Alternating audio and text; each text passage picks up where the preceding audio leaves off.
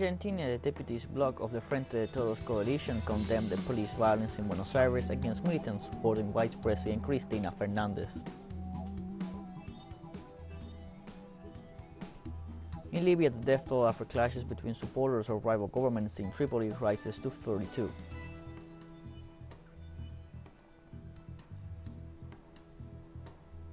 And Pakistani authorities confirmed the death of 1,033 people due to floods caused by heavy monsoon rains affecting the country since mid-June.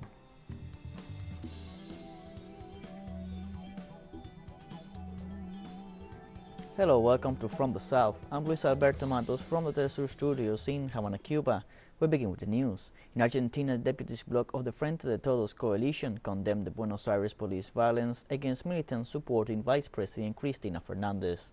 By means of a statement, the political coalition expressed its discontent for the repression committed by the capital's police forces against citizens and the Vice President's son, Maximo Kirchner, on Saturday night. The political movement reiterated its solidarity with the militants who have been victims of violence and demanded that Buenos Aires government, in the hands of Horacio Rodriguez Larreta, identify the police officers involved in the abuses. The bloc of deputies highlighted that they are evaluating the possibility of taking legislative, political, and legal actions in support of the former president.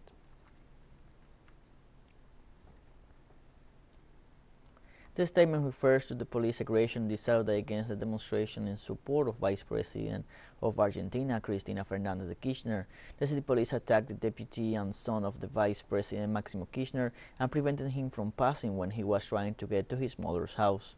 Also, Deputy Hugo Yasky, several senators, and the mayor of Quilmes, Mayra Mendoza, rejected the aggressions by Larreta's police.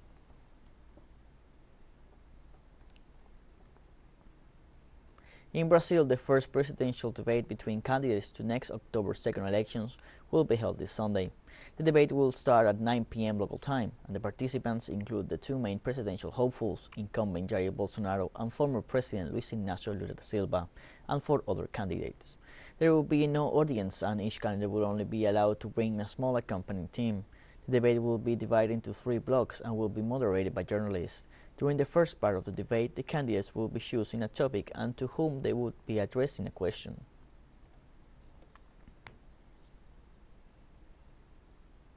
This Saturday, the police of the Colombian Department of Antioquia detected an explosive device in the municipality of Ituango minutes before the arrival of President Gustavo Petro to meet with local authorities. The incident occurred near the educational institution Pedro Nel Ospina, where after the events the president established a unified command post to stabilize public order. The device was located by a sniffer dog and was detonated under controlled conditions. After the incident, the head of state ordered to analyze the security situation in Ituango and restated his call for total peace to the armed groups.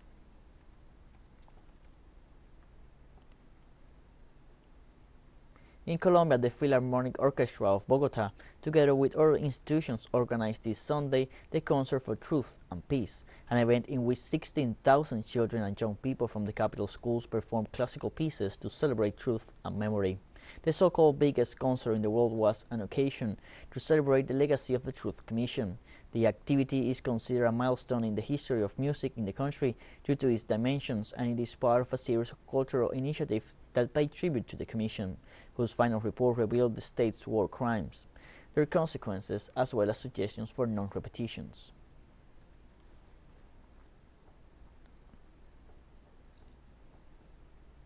This Saturday, agents of the Secretariat for the Citizen Security and Protection in Chiapas, Mexico, rescued 82 Central American migrants who were traveling in two overcrowded trucks. According to a statement, the two vehicles were stopped by an immigration verification check. The migrants were rescued while the people driving the vehicles were detained in an operation coordinated with the police. 18 women, 60 men, and 4 children are the total amount of the rescued migrants, according to the report. The drivers of both trucks were handed over to the immigration authorities on charges of human trafficking. Mexico's General Attorney's Office has indicted Colonel Jose Rodriguez Perez for the disappearance and murder of six of the 43 Ayotzinapa students. The announcement was made at a press conference by Alejandro Encinas, Undersecretary for Human Rights and President of the Truth Commission. Encinas said that the information pointing to Rodriguez derived from investigating a series of calls made to an emergency number, which provided evidence about the six students being held alive. Encinas underscored that federal and state authorities at the highest level were omissive and negligent in their functions and that there is evidence suggesting they altered the facts and circumstances around this case which favored impunity for those responsible.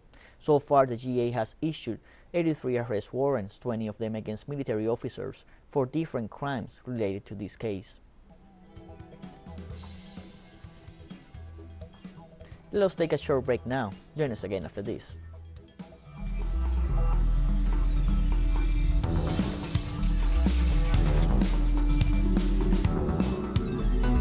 Welcome back to From the South. In the United Kingdom, hundreds of British citizens protested in front of the gas and electricity markets headquarters due to the growing energy crisis. The protest was promoted by Don't Pay UK, a movement that calls for a massive strike over unpaid energy bills starting on October 1st. This happened after Ofgem announced on Friday an 80.06% increase in energy price peaks, which pushed the average household's annual bill from 1,971 to 3,549 euros as from October Protesters also announced that hundreds of citizens would be affected by these measures, while experts warned that people could die this winter due to the high cost of energy, especially low-income citizens, disabled and elderly people.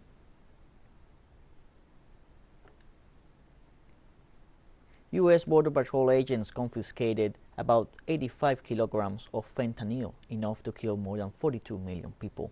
The confiscation took place on Wednesday during the arrest of two smugglers traveling near the state of Arizona.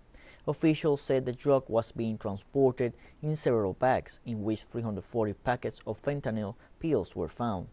Fentanyl is a synthetic drug 50 times more potent than heroin, and the increase in its consumption is a social scourge in the United States and northern Mexico.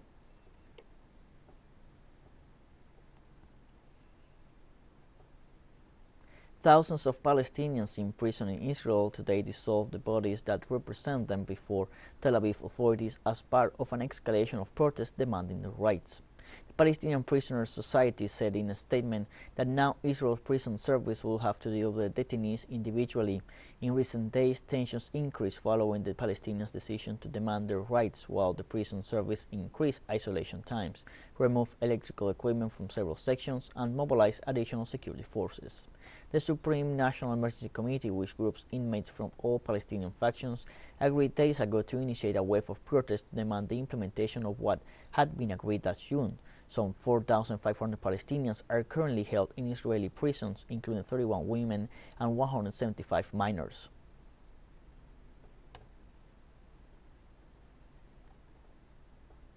In Germany, the curtailing of Russian gas imports due to the war in Ukraine has prompted the decision of rebooting some closed coal power plants.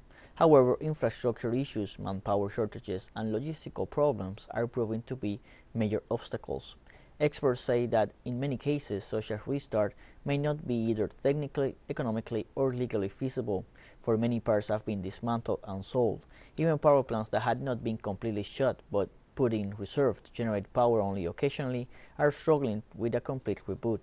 In any other case, a plant's output will be affected by railway capacity limits in ferrying hard coal to the site.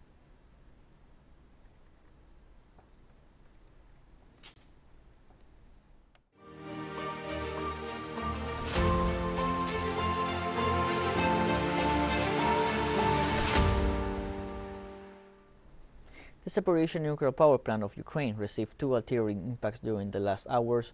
The attacks targeted radioactive material containers. A total of 17 projectiles were fired at the facilities of Europe's largest nuclear power plant in the last 24 hours. Four of them hit the roof of the special facility where 168 U.S. technology nuclear fuel sets are stored. Another 10 projectiles exploded 30 meters from the nuclear fuel dry storage facility. Despite being blamed upon by the corporative media, the Russian troops are present at the plant to ensure its control and security.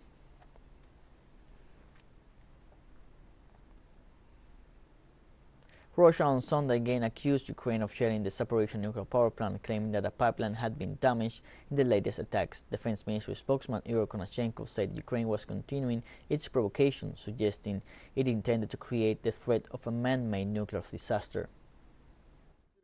The Kiev regime continues its provocations with the aim of creating the threat of a man-made nuclear disaster at the Zaporizhzhia nuclear power plant. Over the past day, two shellings by artillery units of the armed forces of Ukraine on the territory of the nuclear plant were recorded. A total of nine missiles were fired, three of which fell in the area of Special Corps Number 2, which stores new nuclear fuel of the TVEL company and solid radioactive waste. As a result of the projectiles hitting the territory of the Zaporizhzhia nuclear power plant, a pipeline was damaged by shrapnel as a result of a second shelling. One projectile fell in the area of the 6th power unit and the other five in front of a 6th Unit bombing station which provides cooling for the reactor. Despite the ongoing military conflict in Ukraine, on Sunday, seven grain-laden ships were authorized to depart from Ukrainian ports, including the port in Odessa. Together, the ships are carrying a total of 210,294 tons of grains like corn and other staples like wheat and barley.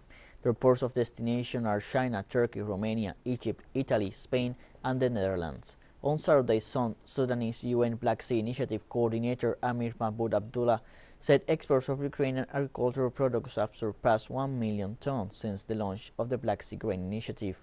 As the exports grow, so does confidence and prices come down.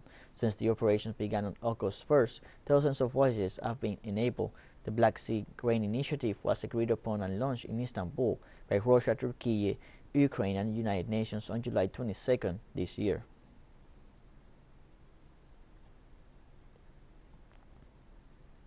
Telesur will dedicate its coverage of the Football World Cup Qatar 2022 to the figure of Diego Armando Maradona, who accompanied our crew in the last two World Cups. With the football star, we also tour our continent with the show The Sur Viajero.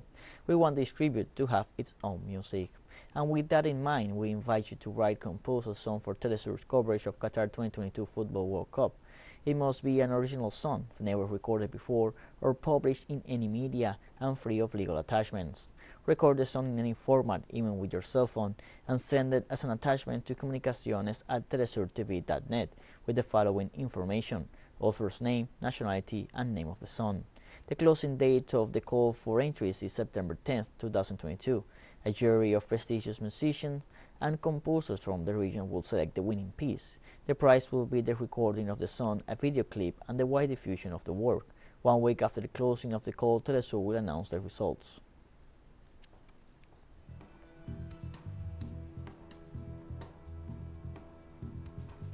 We have more news coming up after a financial break, so don't go away.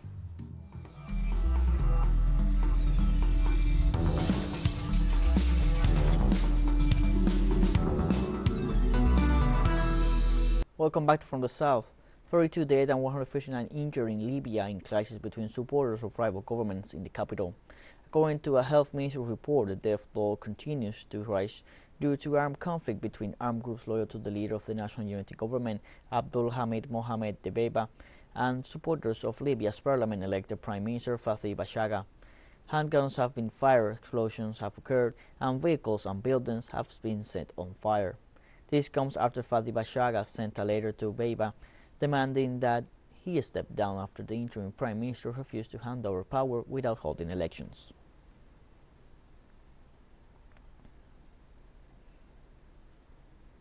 Syrian President Bashar al-Assad issued an administrative order that furloughs thousands of military reservists and draftees mobilized during the years of war facing the nation since 2011. The decision covers officers who completed one year after actual service, while demobilizing non-commissioned officers and reservists who completed more than six years. Likewise, non-commissioned officers born before 1983 will be discharged if they have completed at least two years of service. The administrative order takes effect as of October 1, 2022, and is the largest one issued since the beginning of the conflict. Authorities stressed that such decisions were made taking into account the data on the ground and the preservation of the troops' combat readiness.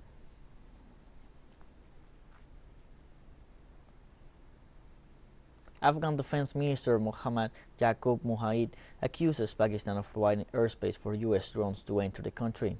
Mujahid's comments come less than a month after U.S. President Joe Biden announced the killing of al-Qaeda chief Ayman al-Zawahiri, an event yet to be recognized by Taliban officials. There was no immediate response to Mujahid's comments from the Pakistani military, but he had previously denied allowing the country's airspace to be used. Border tensions between Pakistan and Afghanistan have risen since the Taliban seized power on August 15th last year, with Islamabad claiming regular attacks carried out from the neighboring country.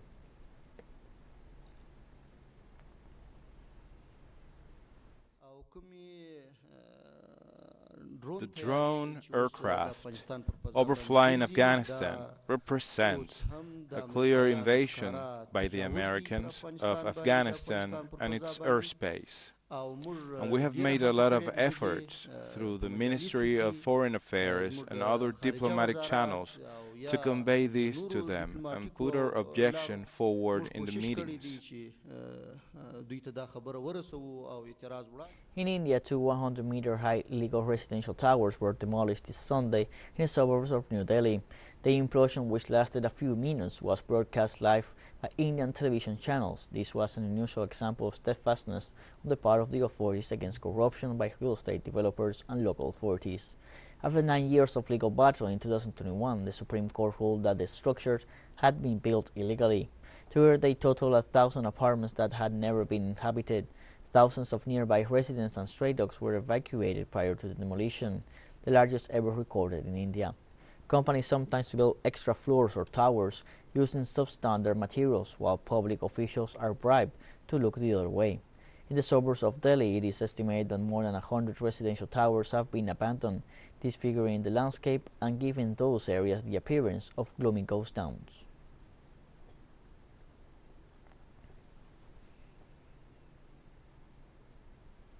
Angola bid farewell today to former President Jose Eduardo dos Santos in an emotional state funeral attended by 11 foreign presidents and thousands of people.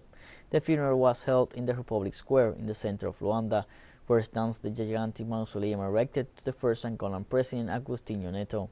The ceremony was led by the country's president Joao Lourenço, who succeeded Dos Santos in 2017 and was re-elected in last Wednesday's elections following the victory of the Popular Movement for the Liberation of Angola. Also present were presidents of African countries, including those of South Africa, Mozambique, Democratic Republic of the Congo, Zimbabwe, and Guinea-Bissau.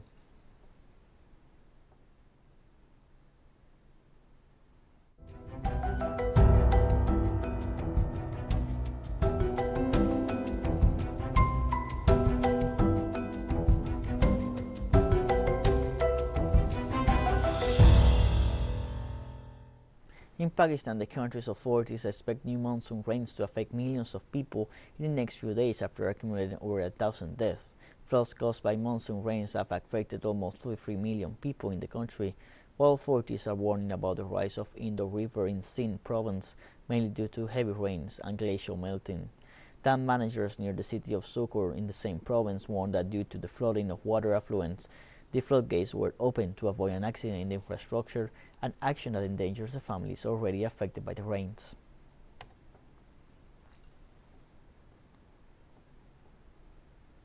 Pope Francis on Sunday prayed for the victims of devastating floods in Pakistan which have killed over a thousand people since mid-June.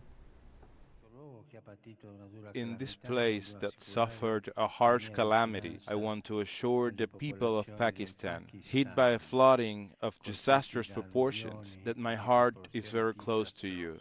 I pray for the many victims, for the injured and the evacuated, and so that the international solidarity will be prompt and generous. Telesur English continues to grow its signal and reaches Europe. You can order from your cable dealer or tune it yourself. These parameters that you see on screen are in place since July 1st, and quite soon versions will be implemented for the signals in the Middle East and Africa. Now more than ever, the world connects to us and our stories are heard in other faraway nations. This news multi-platform will continue providing truthful content to oppose the hegemonic media's narrative and our faithfulness to our audience.